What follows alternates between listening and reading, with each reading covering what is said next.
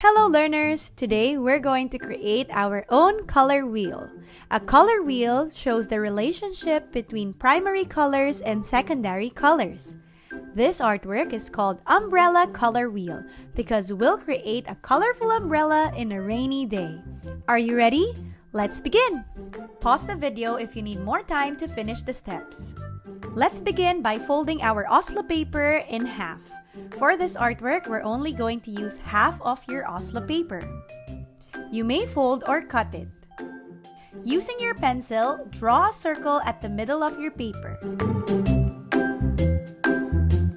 Then, trace it with a marker. You may also use an object with a round shape and trace it in your paper. Here I'm using a masking tape, tracing it with a pencil, and then with a marker. Next is we're going to divide our circle into different parts. Start by drawing a vertical line at the center of your circle, and then draw an X mark to create six parts. You may also use a ruler to make it straight.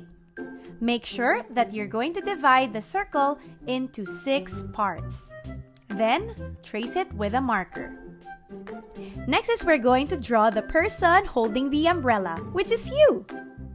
Now, if you're a girl, you can draw a dress using diagonal lines and close it with a horizontal line. And for the legs, also draw two vertical lines for each leg. So if you're a boy, draw two vertical lines for your shirt. Next is we're going to draw your shorts using two diagonal lines and then close it with a horizontal line, finishing it with a vertical line at the center. You can also draw your legs using two vertical lines for each leg. A color wheel has three primary colors, so let's begin with the color red. Now you have to skip one space and then for the next color, we're going to color it blue. Skip another space before you color the next part yellow. Now when you mix yellow and red, you're going to create the color orange. So we'll color the middle part orange. When you mix red and blue, you get purple. When you mix blue and yellow, you create green. Now it's time for you to color the rest of your artwork.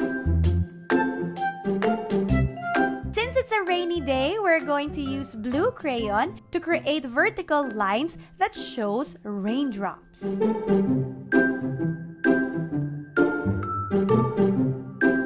Once you're done, write down your name, take a photo of your work, and pass it through Eliza.